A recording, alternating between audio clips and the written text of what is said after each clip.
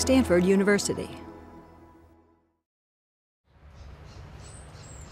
The name of the class is ME303, Biomechanics of Flight. And it's really focused on understanding how vertebrates fly, in particular birds, because that's sort of my main interest, but also because we know so little about how birds fly, so there's yet a lot to discover.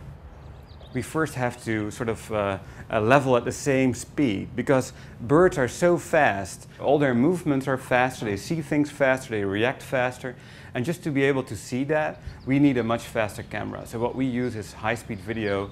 Students can really make novel discoveries, see new things we've never seen before because this camera is so fast, it sees things that we cannot see with our eyes. All of the data we get from our videos from class is kind of the first high-speed videos of some of these birds. And we are actually in a position where we can quantitatively analyze this video. So some of the results we get are the first results of their kind. They do some actual numerical analysis of their videos and estimate uh, flight parameters that are actually going to be uh, quite important in the field of bird flight because there isn't that much data out there. So basically anything they do in the class is uh, groundbreaking research. One of the biggest things about studying bird flight is to be able to mimic that in robotic flight. Um, so for example, in some of the work that Lentink Lab is doing right now, we are building and designing flapping wing robots.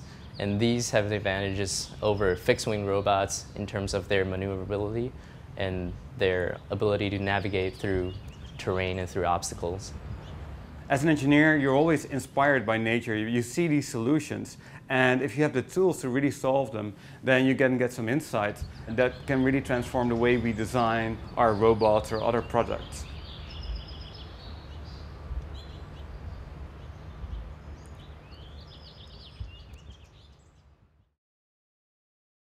For more, please visit us at stanford.edu.